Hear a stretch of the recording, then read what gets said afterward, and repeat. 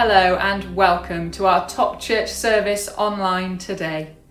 I am so pleased that you have decided to tune in. Wherever you are and whoever you are, you are so welcome to be worshipping along with us for our service today. I'd just like to remind you that we are now meeting in church on a Sunday as well. So if you would like to come along in person, then um, we have a booking system online. We meet at 9.30am, 10.30am and 11.30am every Sunday. And if you'd like to book in, then just visit our website, topchurch.co.uk and click on our services and you'll be able to do that. We would absolutely love to see you there in person. For our online service today, we're going to be continuing the series that we started last week, looking at our vision and our values again. So James is going to be bringing us a reflection on what it means to be a thriving Anglican church.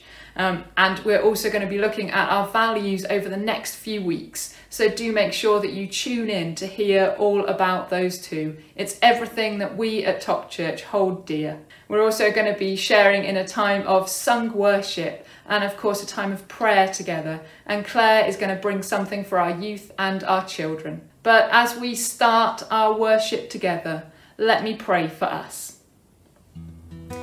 Almighty God, your Son has opened for us a new and living way into your presence. Give us new hearts and constant wills to worship you in spirit and in truth. Through Jesus Christ our Lord. Amen. Let's join in the opening liturgy together. Let everything be said and done in the name of the Lord Jesus giving thanks to God through Jesus Christ. Sing psalms, hymns and sacred songs. Let us sing to God with thankful hearts. Open our lips, Lord, and we shall praise your name.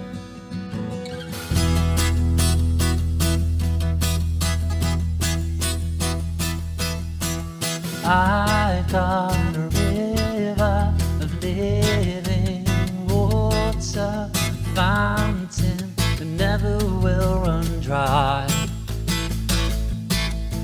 It's an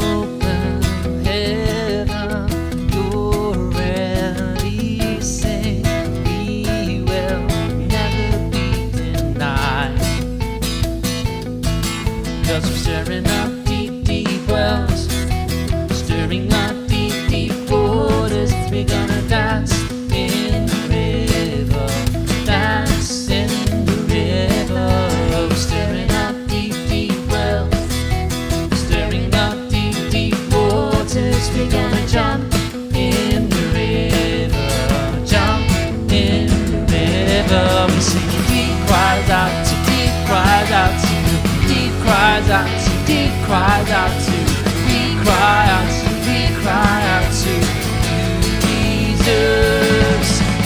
Deep cries out to deep cries out to deep cries out to deep cries out to we cry out to we cry out to you, Jesus. I've got a river of living water fountain never will It's an open heaven.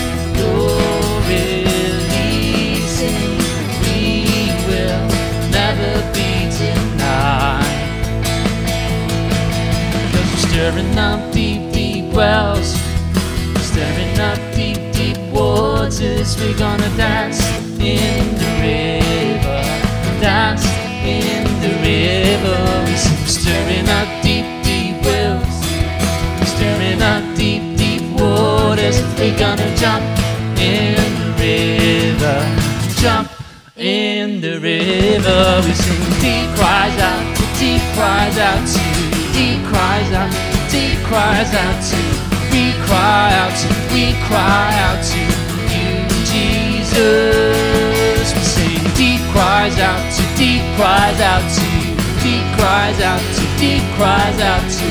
We cry out, we cry out to you, Jesus.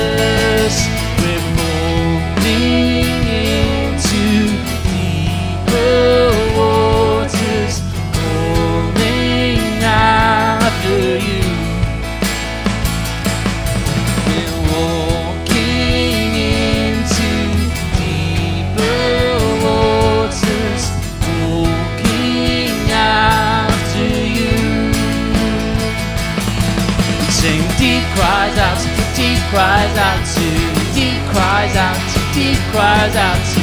We cry out, to, we cry out to you, Jesus. We sing deep cries out to deep cries out to you, deep cries out to deep cries out to. We cry out, to, we cry out to you, Jesus.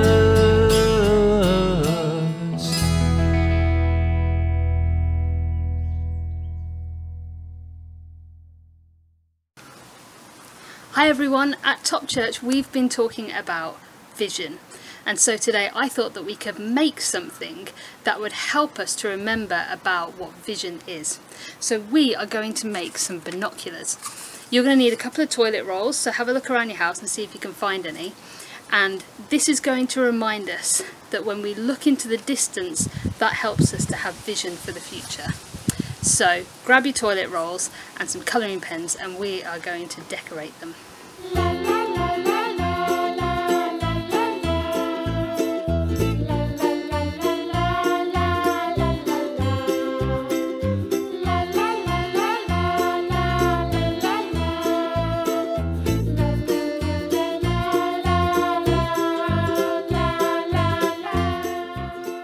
So I've drawn on my binoculars things that I might see through them.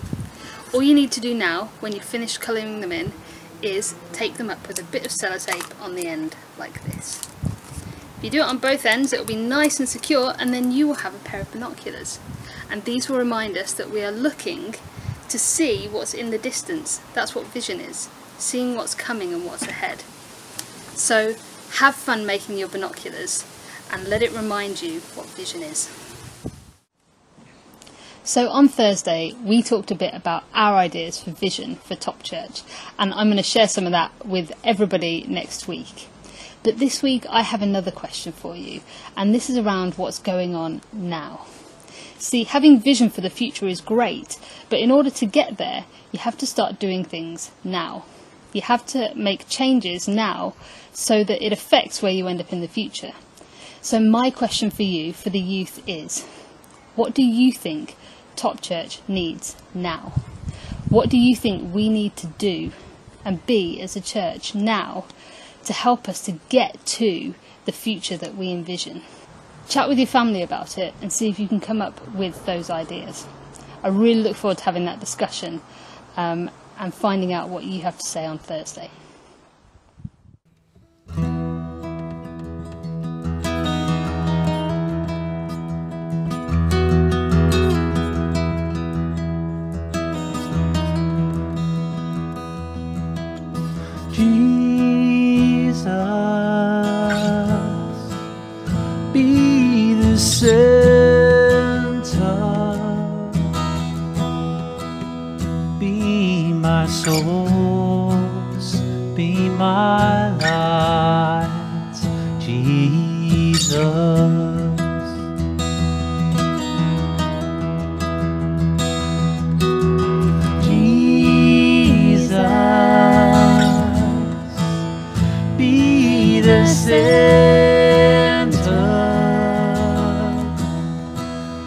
Be my hope, be my song, Jesus.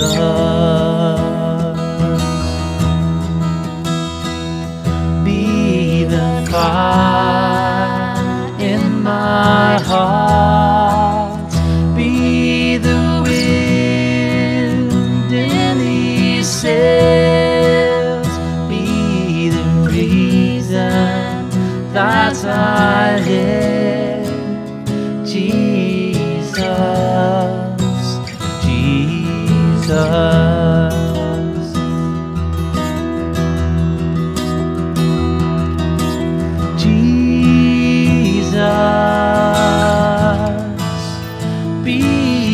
vision,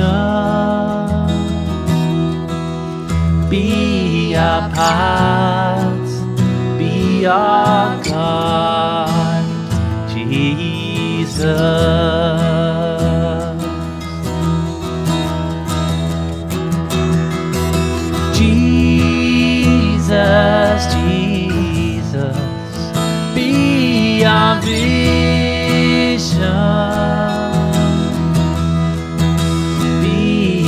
path, be our guide, Jesus.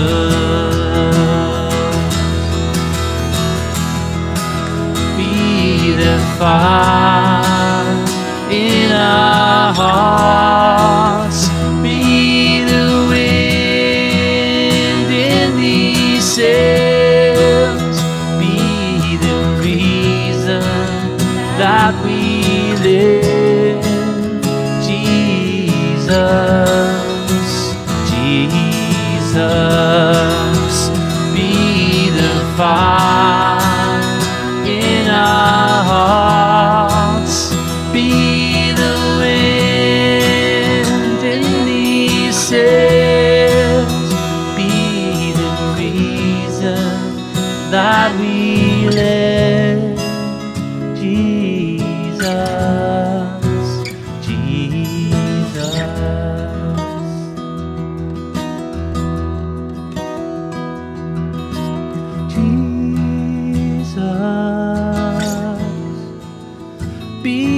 our vision,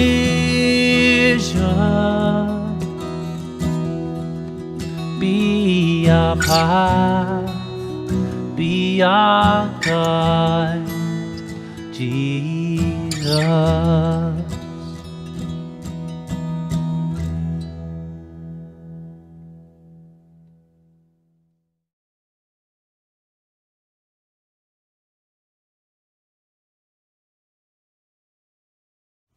When Jesus and his disciples were near the town of Caesarea Philippi, he asked them, What do people say about the Son of Man? The disciples answered, Some people say you are John the Baptist, or maybe Elijah, or Jeremiah, or some other prophet. Then Jesus asked them, But who do you say I am? Simon Peter spoke up, You are the Messiah, the Son of the living God. Jesus told him, Simon, son of Jonah, you are blessed. You didn't discover this on your own. It was shown to you by my Father in heaven. So I will call you Peter, which means a rock. On this rock I will build my church, and death itself will not have any power over it. I will give you the keys to the kingdom of heaven, and God in heaven will allow whatever you allow on earth. But he will not allow anything that you don't allow. Jesus told his disciples not to tell anyone that he was the Messiah. Hi everyone, can I just uh, extend my welcome as well to our service, our online service today. I'm really pleased that you've tuned in to join us and to um, experience a little bit of Top Church this afternoon or this morning, whenever you're watching it. Now, one of the things that I really miss about Top Church, uh, well, kind of pre-COVID days, was eating together. That was one of our values. It's one of the things we did week after week. We had amazing curries and samosas and um, all different types of food going on. It was absolutely incredible. One thing though uh, that we all loved, as well as the, as well as the samosas, was the cake. The cakes were amazing. Particularly Kate and Gwen, they uh, just did some incredible cakes. Uh, Grace Shaw with her banana and chocolate cake, which was quite something. And no one forgets Shirley's rum cake, very popular with our youth. And um, so it's the cake that we miss. Now, you may be wondering why I'm rabbiting on about cake. Well, it actually ties in a little bit or quite a lot with our vision statement. On our vision statement, we say this We want to be a thriving Anglican church, which is a blessing to our community and a resource to other churches. Now, you may be wondering, what has that got to do with cake? Well, it's simple, really. I want to hone in on the first bit of our vision statement at the moment, and that is to be a thriving Anglican church. Now, if you're like me, you've kind of dibbled and dabbled in Anglicanism throughout your life, and then suddenly you find yourself kind of right in the midst of it. And some of it's really exciting and new and curious. Some of it is just weird and kind of bureaucratic, and you can't quite work out anything about it and how it all works. Uh, and uh, it's kind of like life, really. It's a little bit of a mystery at times. But actually, to be a thriving Anglican church, I want to suggest what that looks like is simple. It looks like cake. Now, what do I mean uh, by that? Well, it's this really. If, for example, you're making a cake, I am told, but um, I don't make many cakes, so my birthday is coming up. Kate, Gwen, Shirley, and Gracie. If you're making a cake, you have um, lots of different ingredients, and you can see I have some here, and I'm not going to try and make one in front of you. But on their own, none of these ingredients are particularly nice. If you just have a raw egg, that's not very nice. If you just eat lemon, it's not particularly nice. Flour on its own does not work, I'm told, though I know Ben Coleman likes a little bit of flour. So all those ingredients on their own do not make for a good cake. But actually, the miracle of cakes is you chuck them all together, whisk it around or something, whack it in the oven, and out comes a beautiful cake that you can't wait to eat. Now, Anglicanism, a thriving Anglican church, is a little bit like that kind of cake. Anglican Church has got such a mixed and long history that actually it's a church that isn't just one thing. It hasn't just got a really kind of simple route of saying this was it and, you know, we were founded by Jesus and um, it's all very kind of plain sailing since then.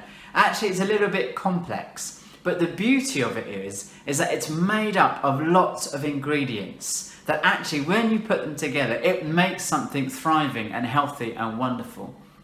For example, some of the churches I've actually led, um, we would really focus on some worship or the power of the Holy Spirit, sometimes to the detriment of other things that you need for a healthy church, which might be mission. Or other times, I mean, so focused on the mission of the church that you can kind of neglect actually the worship of the church.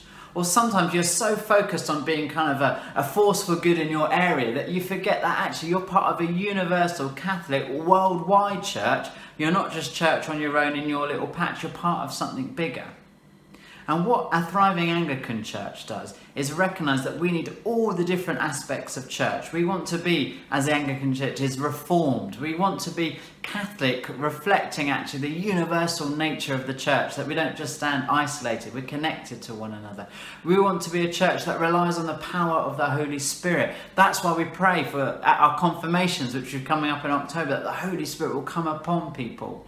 We want to be people who recognise Christ in the bread and in the wine. And we want to be people who are committed to what is called our parish, which means that when we exist as a church and I get ordained, we don't exist for ourselves, but we exist for the sake of the community in which we find ourselves in.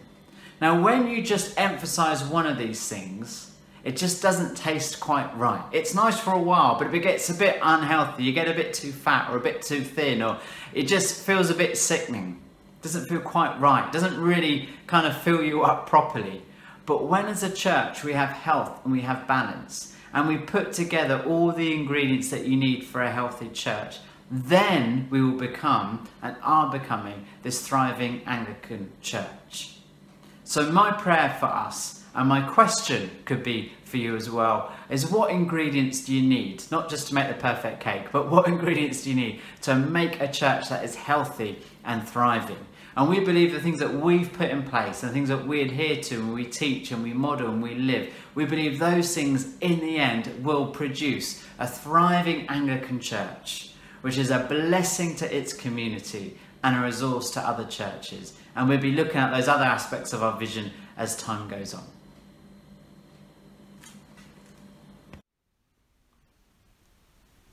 We have heard about you, God of all power.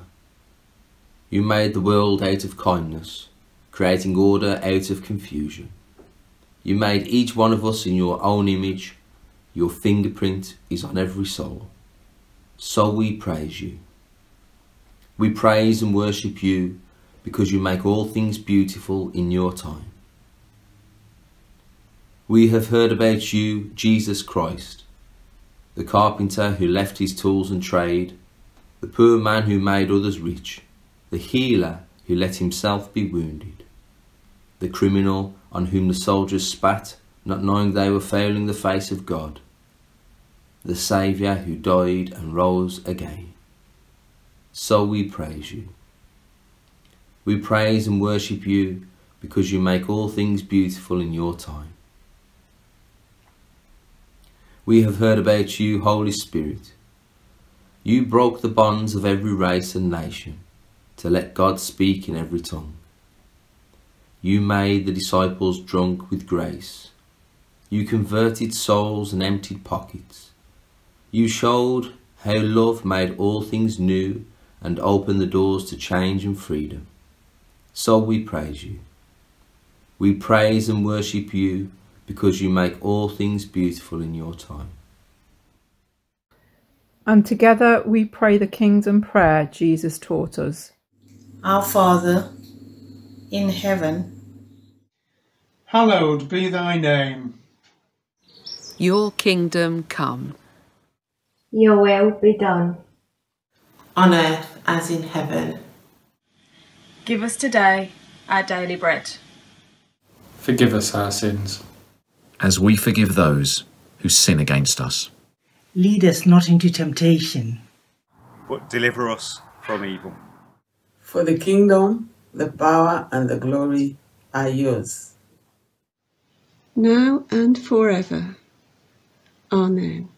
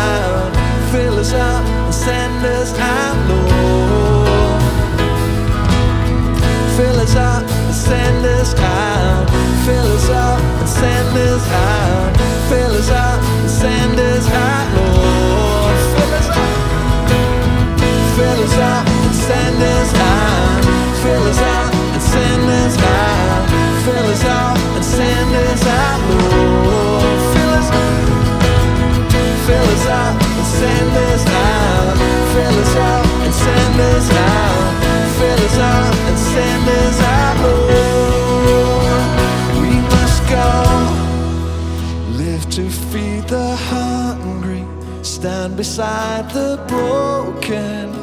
We must go, stepping forward, keep us from just singing, move us into action. We must go.